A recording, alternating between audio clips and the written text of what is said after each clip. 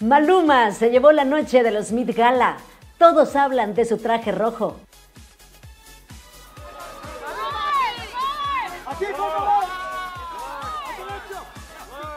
¿Qué tal? Bienvenidos. Esto es Trending News, noticias que son tendencias. Soy Monique.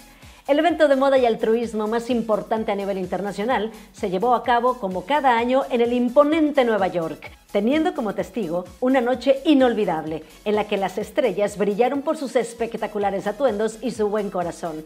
Y es que todas las celebridades y empresarios, deportistas, locutores y demás que participan de esta gala aportan grandes cantidades de dinero a beneficio del Museo Metropolitano de Arte de Nueva York. Entre las personalidades más importantes que han participado de este evento, fundado en el año 1948, adquiriendo mayor fuerza entre 1972 y 1989, cuando Jackie Kennedy era su presidenta honoraria, están la princesa Diana, Madonna, Cher, Sarah Jessica Parker, Lady Gaga, Gianni Versace, Beyoncé, entre muchos más. El año pasado, debido a la pandemia, los Mid Gala se pospusieron para celebrarse la noche de ayer.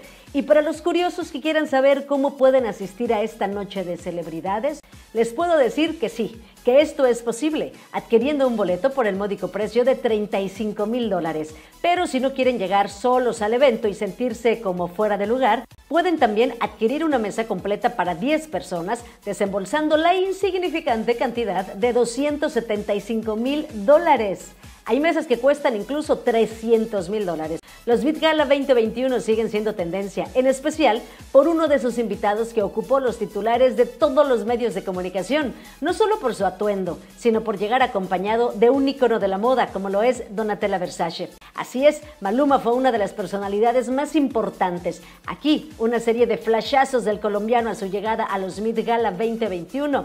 Pero, ¿por qué Maluma se llevó la noche con su outfit? Bueno, pues porque la esencia de este evento es promover y enaltecer la moda americana. Y con este traje de Versace en rojo, aludiendo al espíritu tejano, cumplió y elevó las expectativas de lo que la prensa experta en moda espera ver en esta alfombra roja. El colombiano se llevó todos los elogios de los que saben de moda. Al corte de esta edición no se ha revelado cuánto dinero se recaudó, pero se espera que la cifra haya superado los 15 millones de dólares que se recaudaron en la del 2019. Soy Monique, hasta la próxima.